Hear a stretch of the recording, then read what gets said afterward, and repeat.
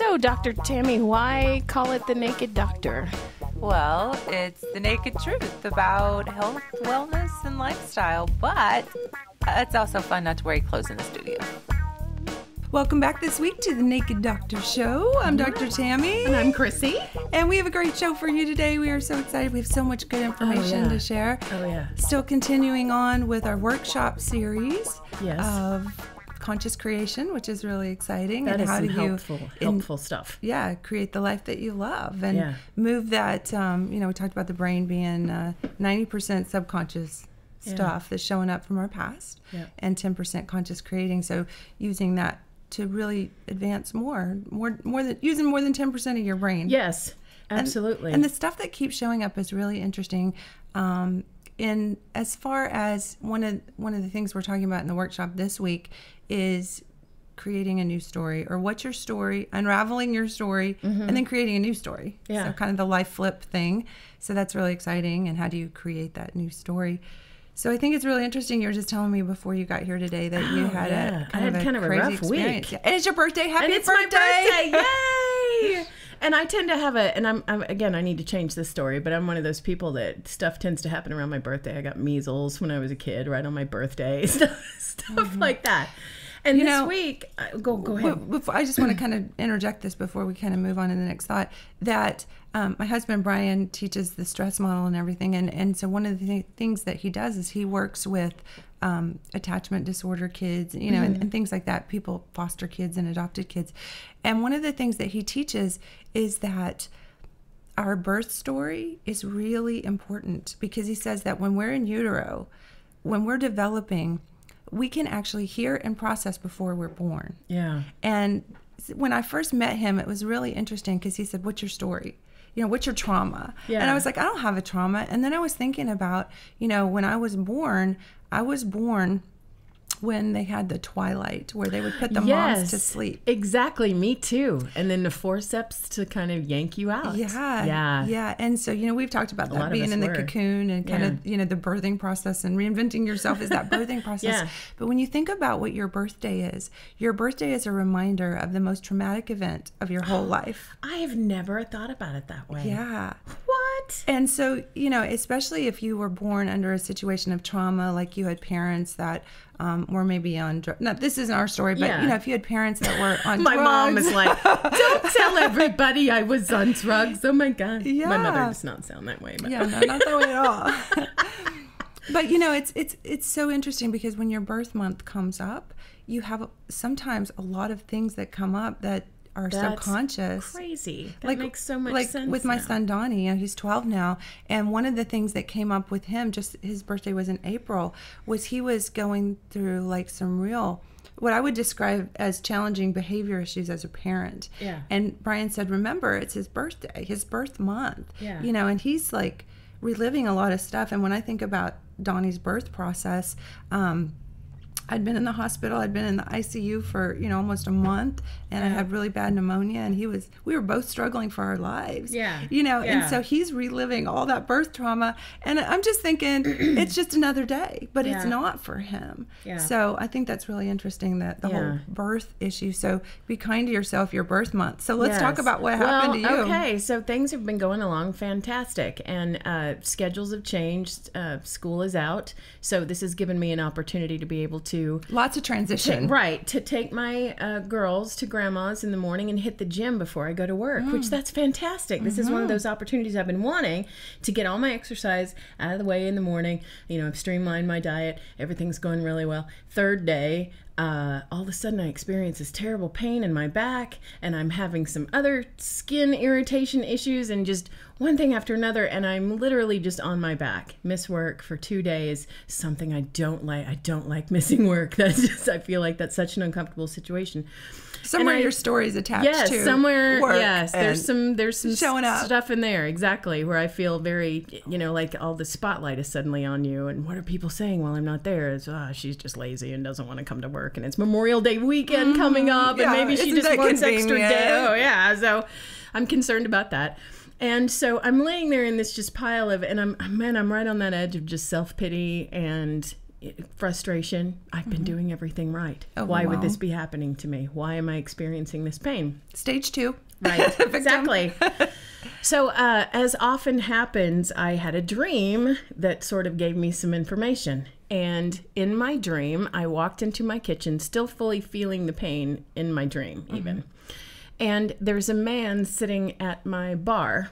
Hmm. And he looks like, I was saying this, he looks like one of those guys from Law and Order that's like the drug addict and has been living on the street, like nasty old bomber jacket and five mm-hmm. o'clock shadow. And he's kind of sweaty and he has, you know, circles under his eyes. And I look over Crawled at out him of his and I meth, go, meth dream. Yes, crawled out of his. Oh, it was awful. And I look at him, and it wasn't like a surprise that there was someone in my kitchen. I look him right in the eye, and I go, "You're my pain." Mm-hmm. And he says, "Yes, I am." And I said, "So I need to ask you some questions." And he goes, "Ask away." And I said, "Why are you here?"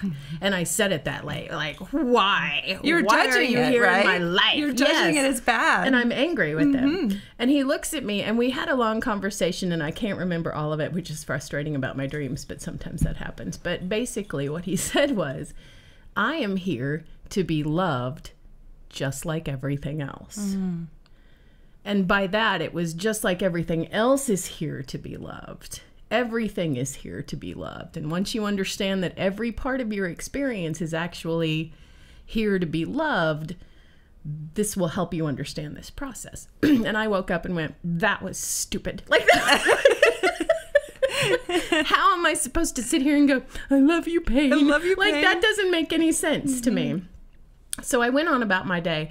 I was appreciative of the experience, and because I knew later on in this day I'll, I'll understand better what this means because that's always how it works. I mm-hmm. wake up and go, well, that didn't make any sense, and then as I go throughout my day, that learning will kind of download and I'll understand. And I did realize that I need to be just as loving to myself when I am in pain or experiencing something that I don't like as I am when everything is going fantastic and I feel all this gratitude and everything's going my way. Mm-hmm. So, Cryssie, when you talk all this talk about how awesome everything is and being positive, how are you when the pain shows up? Mm-hmm. That's when your true core beliefs are really going to be strumming. Mm-hmm. What are you going to strum into your life? Are you going to resonate with, I feel sorry for myself. I thought I was doing everything right. Or are you going to resonate with, right now I deserve more love, not less? Mm-hmm. So throughout the rest of the day, I was extremely loving to myself. Instead of being sad and being in a pile, I looked up upper back pain stretches and how to you know and and just loving kind things for myself. I listened to the music i want to listen to. I wore comfortable clothes. I didn't put on makeup. I did you know i was just like i'm going to be as relaxed and loving to myself as possible. And the rest of the day was fantastic. I feel so much better today. Mm-hmm. And my understanding was there are things that are happening to you that are actually going to benefit you in the long run that you may not understand that right at the moment. Now the good thing is I've been able to see a chiropractor. I'm actually going to be able to improve some posture issues that I've had for a very long time. Some stuff is getting fixed that I probably would have continued to put off.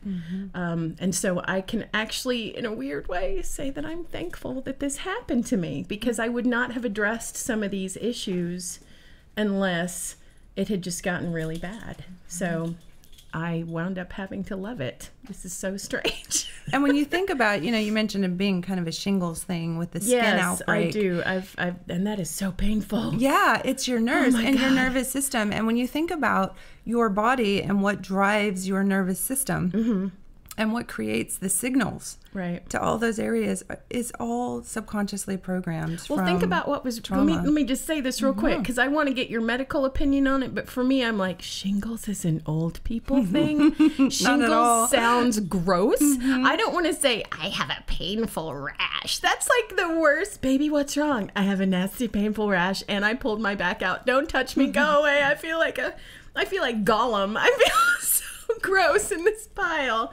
So there was a lot of different things rolled into there. Mm-hmm. But yes, so what's going on? And when you okay, well, what shingles is is it's a virus that's in there that's activated It's with like stress. chickenpox Yeah. from when you were, yeah. Yeah. So when you got stressed, basically, because maybe some old birth trauma and some old things showed up, and Yeah. you know maybe you're reevaluating things and trying to create a new story that that's a stress to the body which Yeah. can be a good stress or a bad stress it's how you And see, I just had that it. show a week ago, and I had been worried about that and picking out the clothes and how am I going to look and have I practiced enough and is everybody going to show up? Mm-hmm. yeah, so I understand where it came from. and Oh you know God. one of your new focuses with that could be that you just want to focus on the people and sending out the message of love Well, and- versus and, all once the the stress show of all that and that's weird Yeah. with me too, is that these things tend to happen after the event that I was actually stressing about has passed. Mm-hmm. So here I built up all this cortisol and adrenaline, and, ah, and then the show went really well, and Mm-hmm. I realized I'm I'm loved. There are a lot of people here that care about me. This is great. And then once everything calms down, that's when my body then goes, here are the results of the stress that you Yeah. have felt over the last two. Recognizing, yeah. Yes. Yeah. So it all makes complete sense, and I understand why. But wow, the opportunity in a dream to be able to look your pain in the eye Mm-hmm. and say, "Why are you here?" And anybody can do that. Anybody can look their pain in the eye, not even in a dream state, but Yeah. in reality. If you have chronic pain or if you have any issue in your life that's maybe pain is, you know, pain is pain. You know, I always tell yeah. people, they're like, well, my Emotional pain's not as bad as someone else's pain. And it's all relative. But it's all relative. Yeah. Your pain worst is your worst, yeah. Yeah. And you really have to look at that and say, you know, this is the result of something much bigger. It's never about the thing that's happening right then. It's always Yeah. about something else.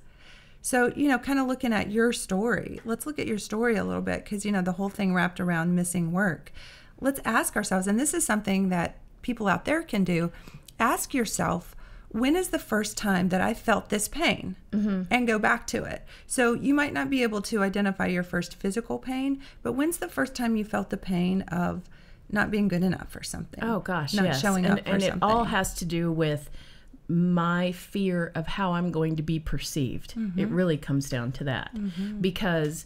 Uh, when I was younger and first starting to work, it was it would be from my mother, and she would say, "Oh, you can't miss work," or it was even school. You can't miss school because it's going to look bad if you miss school, and, you know, and your grades will fall. Oh, you can't miss work because everybody will think that you're faking it, and and I know she was doing that out of care for me, but immediately I would think, oh, as soon as I miss work, everybody just thinks that I'm you know, lazy. So lazy would come Mm-hmm. up or just um, untrustworthy. And oh, I don't want anybody to think that I'm untrustworthy, you know, things like that. So Your guilt. core value of oh my gosh, I have guilt. an overactive guilt gland. I think everybody's got an overactive guilt gland. Yes. And so all of that piles on there. So as soon as I was in pain, and then I have a family that I have to take care of. I like Mm-hmm. to make everybody breakfast and I like to there's laundry that piles up. I mean, oh, immediately I had this huge crushing feeling of how I'm letting everyone down. This is terrible. And then my next thought was, I don't deserve this. Mm-hmm. I've been doing everything right. Why is this happening to me? Mm-hmm. But really, it's a result of how hard I've been on myself, my thought processes, not taking care of things when I should have. Mm-hmm. Um, you know, I mean, it all it all comes for a reason, but I was able to understand that it's I'm actually going to be better in the, in the long run for this. I'm taking better care of myself than I was even just a few days ago. I have now a stretching routine that I'm doing when I wake up and before I go to bed, which is great. I should have been doing that all the time. Mm-hmm. But wow, Wow. it's really hmm. Hmm. saying it's time for a little break. So let's take a little break. and we're going to come back and we're going to talk about your story. Yes. And we're going to talk about what is a story. yeah. Yeah. So I think that would be good. So we'll be right back with the Naked Doctor.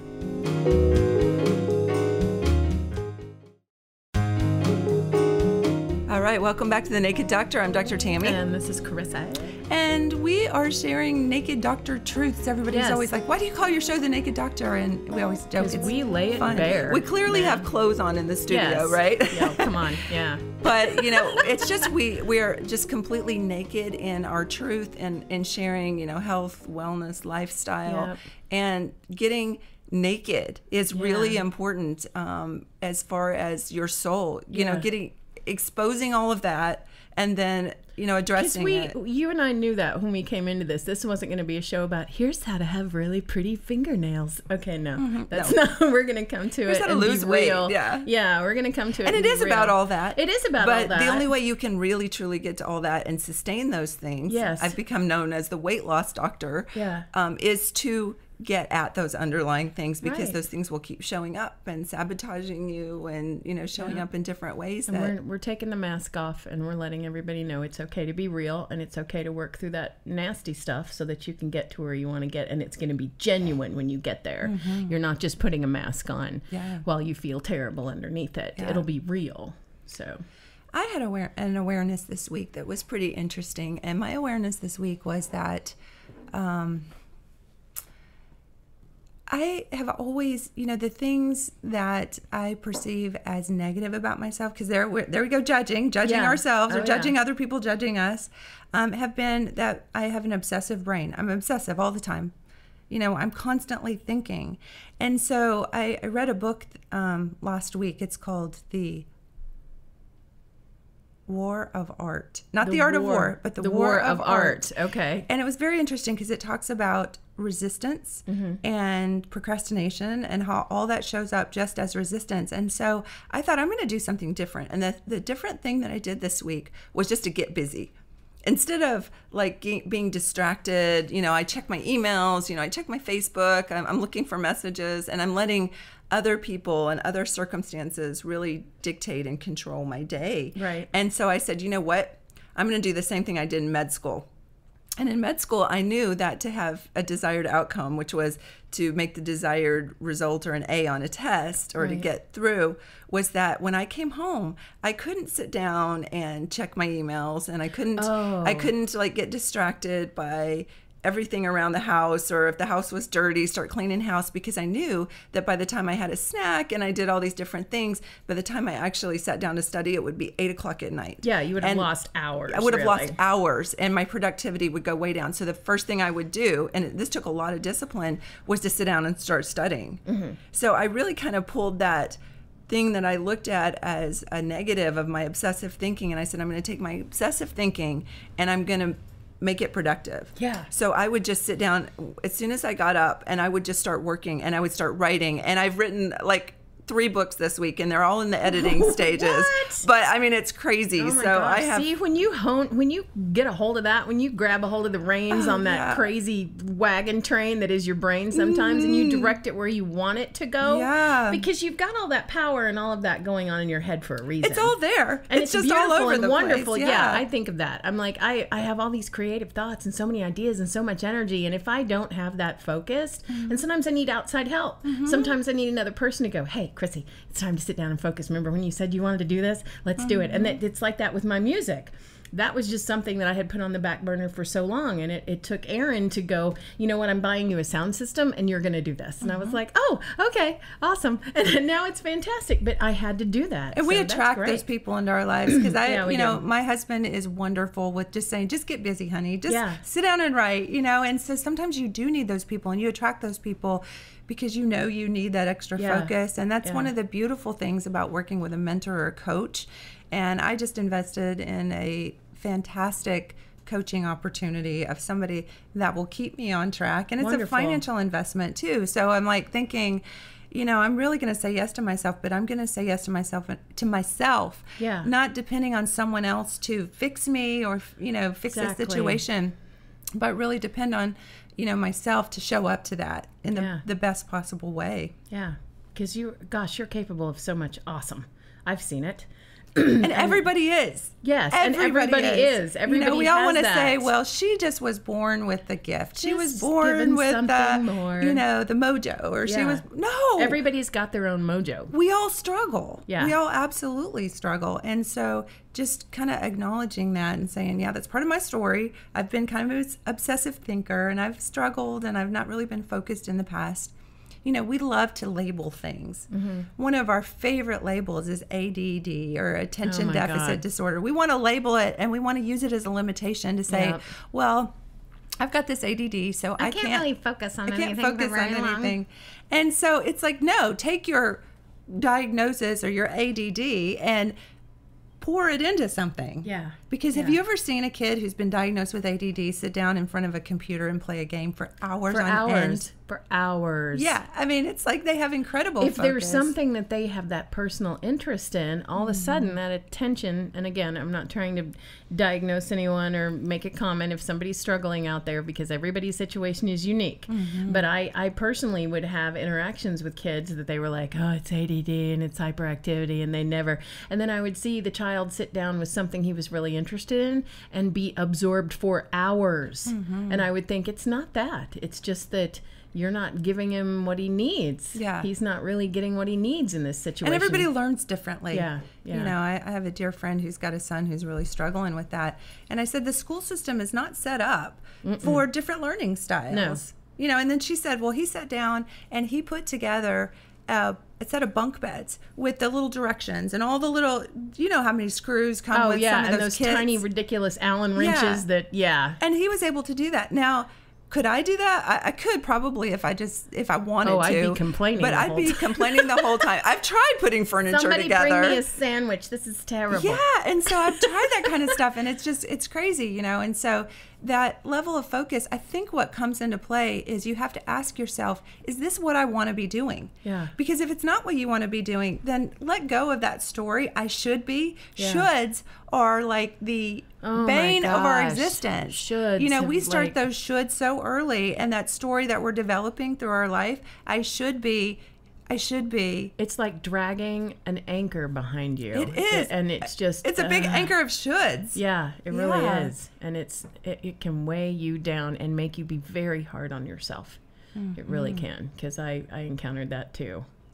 And anytime your life isn't perfect, when you're when you have a divorce, when you have a job loss, when you Mm-hmm. have financial problems, and you're like, oh, I should be better at this than that. I, everyone's gonna think, ah, and that just becomes it, it makes it harder to get through what you're trying to process when you're so concerned about what everybody else is gonna think and what you should be doing right now. Yeah. I showed a video in my class last week, and it was all the people who didn't even really start stepping into their bigness, I call it, until their 50s or 60s or 70s. That's important. It's so we need to look at that more often because yeah. I mean, like, and, and all the, excuse me, all the, um, the no's they got and all Yeah. that, you know, like Walt Disney, you know, he was told he wasn't talented and he couldn't Yeah. draw, you know, I mean, Walt Disney, Like, you know, Oprah got Oprah fired, got fired, yes. you know, and, and, and this happened in their 50s and 60s. So, so many people say, well, I'm too old. You know, I'm like, how am I supposed to start stepping into my bigness when I'm 50 years old? Oh, yeah. you yeah. know? And Yeah. I'm just realizing that, you know, I'm almost 50 years old and I am just now starting to step into Yeah. my divine. Well, think about it. This is when you've really collected enough wisdom to be able to make really good decisions and knowledgeable steps in your life. And like you said, when you talked to your pain, you didn't know in the moment what that was supposed to mean, but you had faith I did. that it would show up throughout the rest of the day. And it's probably showing up right now, what Yes. the, the truth of No, that absolutely. was. Absolutely. And so that's a part of this too, is having the faith that everything's going to work out for you. Yeah. You know, because when you're focused on the negative or you're focused on the, I call it the what isness, then you can't see the bigness that's coming because you're so focused over here that you can't see yeah. that. And when you lock into the reality of what is, and that becomes dominant in your consciousness, you are not allowing the room for what it is that you really are moving Mm-hmm. towards to come to you. Because you're so focused on what is, it's like watching a big pot of water boil. If you stand there with it and stare at it, it feels like it takes an hour. You walk away from it and suddenly it's boiling. It's boiling. You're like, oh, oh, I got to put spaghetti in there or whatever. And you it is the- the same way. you had really the faith is. that it was going to boil, but Yeah. during the time you're like, oh my gosh, Yeah, it's not it's taking boiling. forever, It's uh-huh. not boiling. Yes. It's still not boiling. Still not boiling. Look at it. What is it they say? A watched pot never Yes, boils. no, that's exactly the way you're watching is. your pot. You're watching your Yeah. life, and your life is never going to boil as long as you're just watching it. Yes. you have to have the faith that everything's going to work out and step into that that. everything really is, whether you can see it or not from your perspective right now, everything is actually working in your favor. Mm-hmm. Because that part of yourself that is the subconscious, that is the higher self that we talk about, Mm-hmm. can see things from a higher perspective than we can. Sixty thousand foot view. Yes, absolutely. And so you're sitting there going, "This sucks," relax and you're making yourself miserable when really your higher self is like just keep moving. You're Mm-hmm. so close. You have no idea. Just keep moving. It's going to be okay. You're experiencing this pain for a reason. You can't see it right now. I know it sucks but if you'll just move through it and take better care of yourself you'll get where you need to be Mm-hmm. that's basically what it is so it's not i need to love my pain and sit there in pain going i love you pain, you, it's pain. not that No. it's like this is here to be loved just like everything else this is here to be acknowledged and respected and understanding that it is a piece of a very big puzzle that you just can't see the big picture of yet All unraveling. yeah So let's talk about the story a little Yes, bit. the What story. is the story? If you were a writer, and I kind of think of like when I was in grade school and they taught us the elements of a story. You know, the elements of the story as they kind of unfold. I'm just going to kind of pull my notes out here just a little bit because it's been a while since I've been in grade school and writing Yeah, a story. yeah. Or you have a setting. Okay, Yeah. so your setting, what's your setting in your life, right? So what's going on in your life right now? What is the, the you know, the the environment? Mm-hmm. Where are you at right now? So again, you know, this is about just recognizing your past, not like living in it or the what isness, but it's going to help us write a new story. So the other thing is the plot. What's the plot going on right Yeah. now? What's the plot in your story right now? And what are you being developed? You know, I always say that while you're working on your goals, your goals are wo- working on you. So what is the circumstances that are being developed around that? And then the characters. Who are the characters in your life? Who's your significant other? Who's your children? You know, really consider all that and how they're kind of playing in and how you've attracted them into your life. You just said, you know, you attracted Aaron to kind of light a fire Help- under help you. direct that, Yeah, yeah. I've attracted this man who's not afraid of anything, who has no risk aversion. it's like who go just- for it yeah, I was just like driving in the van on the way over here, his van, and it, it was playing some of his um, audibles, which are like all Oh my you gosh, know biographies and Yes. goal stuff. And and this man was talking about Donald Trump and you know how he has been bankrupt so many times, and you know his story could have ended right there. He could have said, well. That didn't up. work out. I give I up. give up. And he's still like living his story out, Yeah. even to the fact that he could well, I don't know, be oh my president. gosh think about that because if, you know, i'm sure no one has ever told him that that was a bad idea That's a bad idea. he's like i don't care i'm doing it anyway care. and then there's conflicts. Yeah. And you know, every good story, you go to a movie because you want to see the conflict. If Yeah. it was just a happy movie and everybody was just love, love, love, you'd never go to a movie. creation and motion comes out of conflict. If there is no conflict, there's no growth. You have to have there's contrast. no movement. Yeah, Yeah. you've got to have that contrast. Yeah, we talked about that last week. You have to know what you don't want so that you know what, you, do, want. yeah. So you're developing all that. So your conflicts are showing up. Yeah. And your point of view. Your point of view can change. And that is the most important part of your story is your point of view. What is it right now? Yeah. Because your point of view can change. And the only way you can change your story is to change your point of view. yeah. So that's Yeah. really important too. And I was thinking about that, you know, because I've been in plays and I've done acting as well, and they always say you need to know the character's backstory. Mm-hmm. You need to be able to develop that fully because that helps you to understand their motivation for what they're doing now. Oh, yeah, well, that makes sense. Well, then isn't that the truth for everyone? It's Mm-hmm. if you don't really understand why you're doing something, you've kind of got to dig into that backstory a little bit to be able to understand where that motivation is coming from. You do. I just had an experience this week that I had somebody that did something that I totally did not understand from my perspective. And I always say everybody's right from their perspective. Yeah.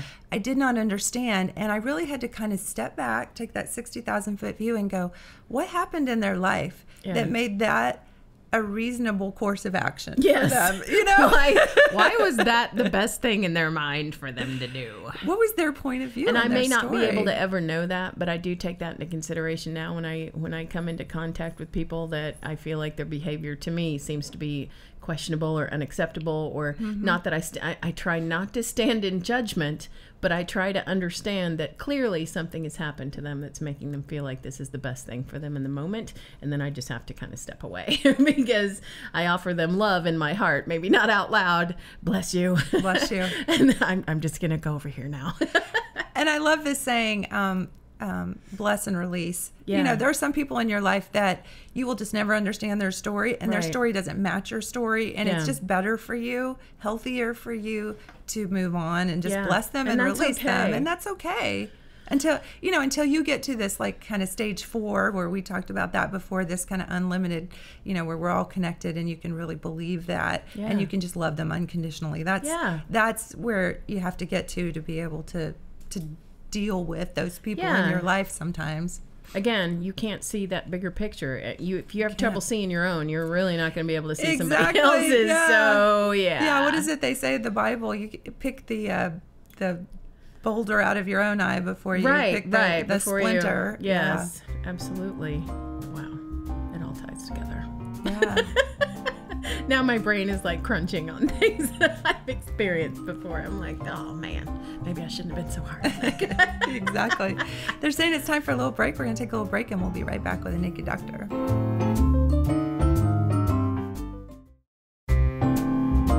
Welcome back to the Naked Doctor. I'm Dr. Tammy. and this is Cryssie. and we are talking about your story Yeah, and how to recognize it, unravel it, and create a new one. yeah. And, you know, love it a little bit. one Send some love at it. some love at it.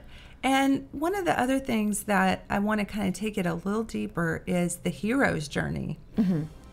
Is that in the war? Is that in the book that you No, just read? no, Okay. but you know, it's so interesting because everyone loves the hero's journey. Yeah, Everyone comes up. loves a really big battle. yeah, You know, that's delicious. Yeah. You know, just people who kind of got by in life are, you know, just they're just part of the they blend into the background of the scenery of your life. yeah. But the It's people like, have you ever been tested? have you ever been tested? Yeah. So I want to share um, an experience that I had this week with a patient, but I want to talk about the the structure of the hero's journey just a little bit so that people can appreciate that. So there's a genesis or a backstory. We just talked about Mm-hmm. backstory, and then there's an innocence. So we talked about um, learned helplessness, Mm-hmm. and you know people kind of come in with this learned helplessness. We're children, you know, we're developing. Um, so we start out with this innocence, and then we have this separation. I kind of think of like um, who was the girl that was up in the tower? Was it Rapunzel? Rapunzel, yes. And she had to let down her hair. Rapunzel. She experienced her separation because she was put in this tower because she was perceived to be so beautiful that you know her father Had to be protected. Had to be Never protected. go out in the real world. Told everything was dangerous out there. Yeah, and she believed it. So Yeah. that was part of Oh, her yeah. story, right? So the separation and then the call to adventure. The prince showed up and he said, Rapunzel, Yeah. Rapunzel, let down your hair. You And know, she had a choice. She had a choice. You know, she could have stayed in there safe That's and right. sound and secure. And then this is an interesting, and it's always the twist, and it's a very subtle twist, but everyone has had this at some point in their life. Is this kind of, you know, you had the call to adventure, and then you have the refusal of the call. Yeah. So there's this point where you say, "Oh no, it's safer up here in the tower, right?" You know, I probably shouldn't step out there and really put myself out there. It'd probably be safer. And sometimes you have people around you going, you know, it'll be safer if you don't. Because here's, Lots of here's people all around the bad reasons Yeah. why this could go wrong. and that's what fear is all about. I Oh, think yeah. I think there's an acronym yeah. is um, you know, um, what did they say? Um, false evidence of, you know, false Something- evidence appearing real. Yes. Is fear. Oh my gosh, that's right. So, you know, I mean it's it's it's never real. You know, it's just Yeah. this perceived thing and it's part of that story. Okay, so after the refusal of the call then becomes this initiation and it's this step into the road of trials. And usually that road of trials leads to the big battle, whether that's a dragon or whether that's, you know, Rapunzel climbed down and you know she started experiencing life Yeah. out there. That was scary. You know, well, she, had to take a step there. She had to Yeah, really put herself out there. yeah, and then what was it? You know, the you know someone shows up. I can't remember in the original story that was you know trying to get her back into Yeah, the castle. yeah. You know, and so you know the the dragon or whatever the situation may be, and then there's the enemies and the catalyst Those are so important for your growth. I mean. We always want to look at the enemies as, oh my gosh, they're so bad and, and get shut down and Being told no. being told no yeah and so an enemy can be somebody who's done something really bad but an enemy could just be someone who from their own story and their own perspective is telling you no so they can shut you down. or you, you, know, you might your dream might bump into somebody else's dream. Exactly. You know what I mean? Yeah. No, I want to be the one that wins this, not you. So you know, Mm-hmm. you you often come into conflict that way. And then there's allies mentors and friends Mm-hmm. so you know we talked about you know our husbands being those uh, Yeah. you know these friends that Or each show up, other. each We other do- We, lift each other up as often exactly, as we can. Exactly. And then you have the climax or the battle. And so that's really where you find have you got what it takes? Yeah. And that really is the, where the rubber meets the road. Yeah. And then there's atonement and rescue, and you know that that can be um, where you discover, hey, I really I survived this. I Yeah. you know, and and I thrived. You know, it's not just about survival, but thriving. And then there's the kind of return, and that you're back to your your life, and how do you implement what you learned through that battle? Right. And then there's freedom. There's freedom at the end. So that's the hero's journey. And that's where you really recognize the hero is their freedom from their battle and what they came through. Mm-hmm. And that's what everybody wants is the freedom. And Yeah. so as you're kind of living your life and you're having this journey, you know, really looking at um, trusting and having the faith that all of that's coming because of this. Yes. Because when you're in the storm, you can't really. Well, and when I that. think about all of this, I feel like different aspects of your life, you can be in different stages of that journey, Mm-hmm. and maybe in more than one stage on different journeys at the same time. At the same time. So maybe your family life is going along this journey, and then your work life is at this stage of the journey, and then you have some personal goals that might be at this stage of the journey, and you're kind Mm-hmm. of going back and forth, and you have different friends and different, you know, obstacles that you're meeting. So it's kind of constantly molds into this one big globe of experience that you're having but ultimately that goal is to be at that place where you feel triumphant and confident in what you're doing so. Mm-hmm.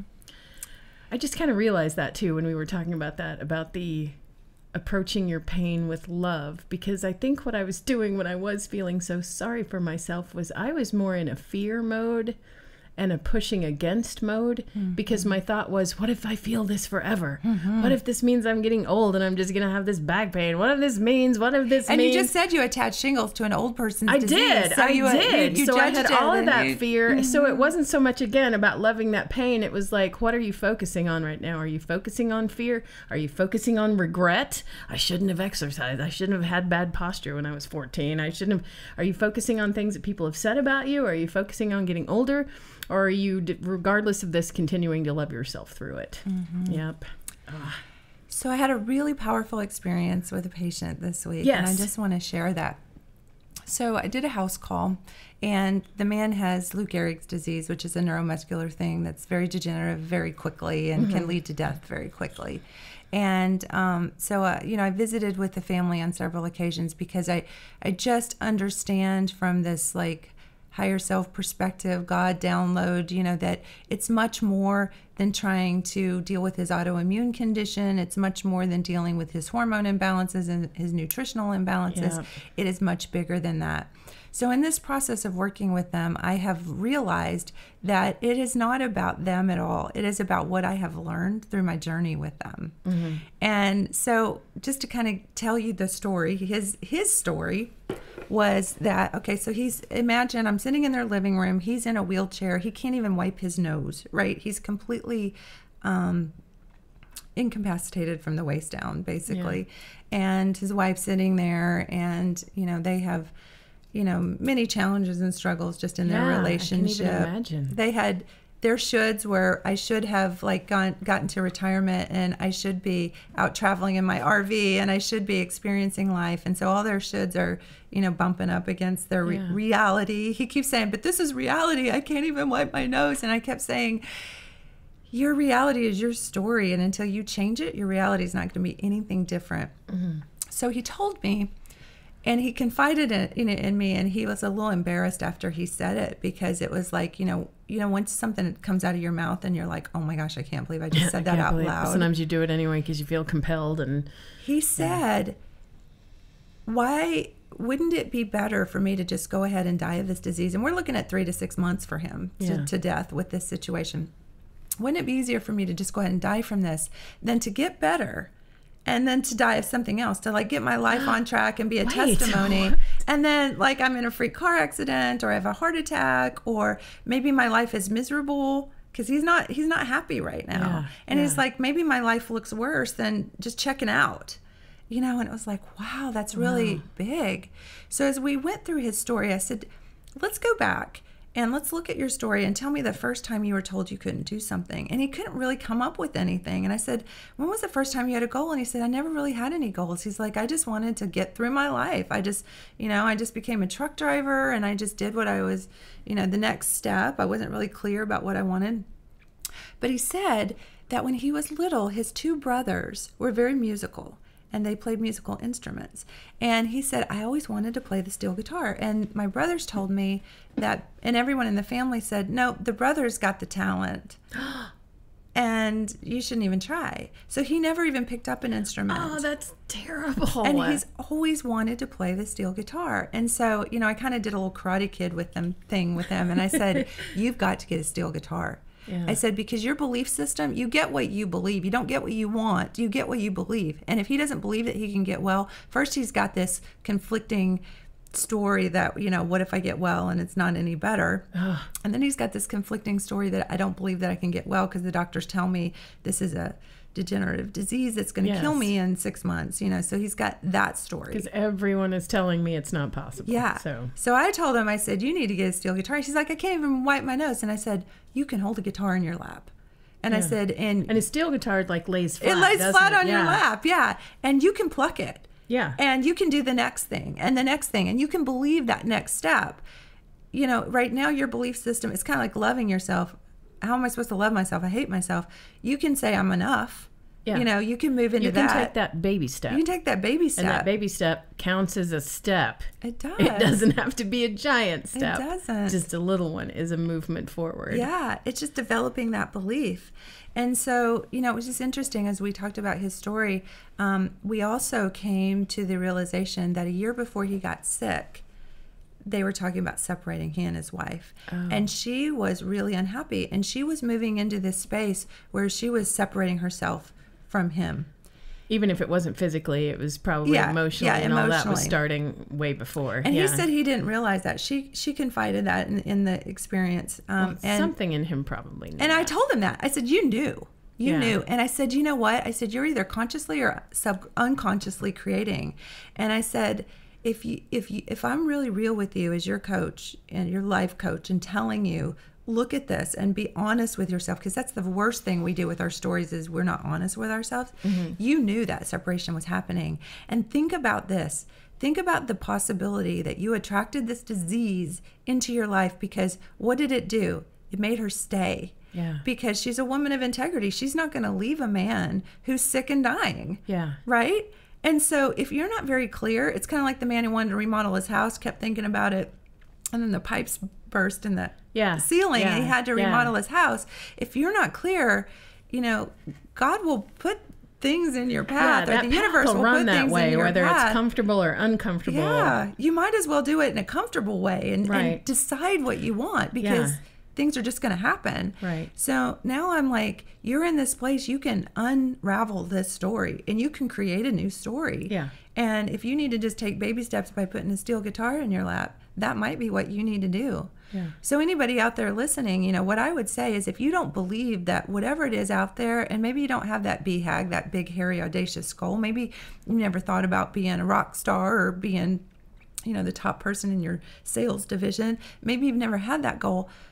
But, you know, maybe you should think about developing some sort of goal and moving into some sort of belief system so that you can start working towards that. Because I told him, you're either busy dying or you're busy living. and he's busy dying. Yeah, yeah. Wow, that is big. That is really Mm-hmm. big. And kudos to you for being able to say that. because I know a lot of medical professionals, especially, would just be like, well, I'm going to just make you comfortable on your way out. Yeah. So have a good evening. Like and you were able to look him in the eye and go, me. Mm-hmm. let's take this apart and tell you, I'm going to be honest with you. I, I appreciate you for doing that, Tammy. That's. Oh, it's not an easy thing to do. No, And he's absolutely he's Sitting not. there crying, and they're saying it's time for a break. So we'll take a little break, and we'll come back and we'll finish this story. Yes, we will. All right, be right back with the Naked Doctor.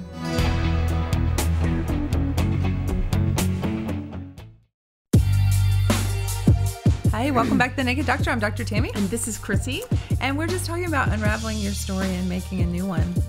We were Wow, just this is this is gonna be multiple shows. yeah, I think so. I think so. this is a big one. So one of the things that I was left with, um, with that story, with the the man who had uh, who has ALS, Because you're experiencing it for a reason too. yeah, yeah, exactly. Yeah. And you know, I like I said, it's it's it's to me, it's really not even about them. It's you know about my experience and what I'm learning from that. Yeah, yeah. So you know, regardless of the outcome of what happens with him or what he decides, I can't attach to that outcome because this is really what I can take away from that. So as I was, what I what I did, I was there almost two hours and. Finally, I just I felt a little overwhelmed and I just got quiet in myself. I got still and I just kind of asked God, what, what, what do I do here? Because it kind of turned into he said, she said, and they were starting to bicker at each other. And I said, we have to stop this right now. Mm-hmm. And I pulled him in, you know, he's in a wheelchair. So I made him pull in closer to me. And then I got up and I put her in my seat where I was. And I made her take his hand. I made them look each other in the eye. And I said, you know, your story was that you wanted to retire and have time to spend together because you've worked on the road all these years you have all the time in the world to spend together. Yeah. And I said, this is, you've attracted this and you have like 24 7, you're in each other's face and you have a decision whether you're going to be loving to each other and really embrace this, whether you get well or not. Or you have the choice to just continue being distant and angry at each And other and victimized. And so, you know, I made them look in each other's eyes and tell them what they needed to each other. And, um, you know, that was a hard thing. And I said, I want you to feel their pain. And I told her, I want you to feel his pain of being a man, for one thing, who is used to taking care of the family, who can't even take care of himself. Yeah. And, you know, she's got cancer. And I said, I want you to look in her eyes and see her pain. I mean, they both, they both attracted these fatal situations. You know, and I want you to feel her pain, and I want you to really start just talking to each other as people that just have some faith and trust that you love each other and just ask the other person what they need. And it was funny because as their conversation started to unravel a little bit, he started like kind of doing kind of pillow talk with her. Like, I think, I think you're beautiful. I think you're sexy. That, you know, little nightgown that you wear, you know, just is, is amazing. And I, I think you're beautiful. And she just started blushing, you know, and, and they still kind of tried to pull me into the conversation and still were trying to say, well, he does this and she does that. And I said, you all need to talk to mm-hmm. each other. So after about 15 minutes, I got them talking to each other and communicating with each other, and I slipped out. and you were like, and I'm gone. and I'm gone. My work here is done. and on my on my drive home, I realized all of the areas in my life that I am attracting things and situations to create a circumstance that may or may not be really consciously created the way I want them to be and mm-hmm. I'm just allowing them to happen. Yeah. So my story and unraveling my story is to say where are all the areas in my life that I've constructed these limitations yeah. and how do I want to change that? Yeah. I realized that this week when I was flat on my back in bed, but I had my daughters next to me because they're out of school now, and we were loving each other, and Tabitha rubbed my feet, and we were really having good conversations and enjoying watching a movie together. And I realized that one of the things that I had been asking for recently was some time off to spend with my kids. Oh, that gave me goosebumps. And I thought, oh, but I didn't mean this way. But it was almost like the universe kind of had to put me flat on my back at that point in order to help me get that. So I was th- I stopped and I was thankful in that moment.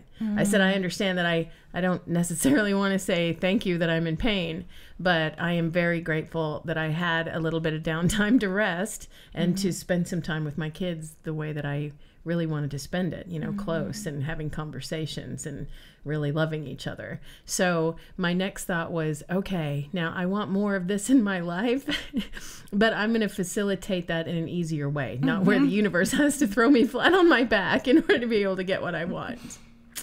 Illness is so often that way. And so if we talk about, you know, if we want to go into medical doctor zone world, Medical doctor you know, zone. and talk about illness and imbalances, a lot of those are being attracted into our lives to get us That's tough some for downtime. to answer that too, mm-hmm. because what comes up as soon as I say that is people will say, "Well, then why did this child get sick? Mm-hmm. Why did this child get sick?" If it's something that's attracted, and I have to say, you have to think about it from your situation. Yes, this child may have come into this world with some intentions, again, from a bigger picture that you don't know, but there was also something in you that felt that this child needed to be 100% dependent on you.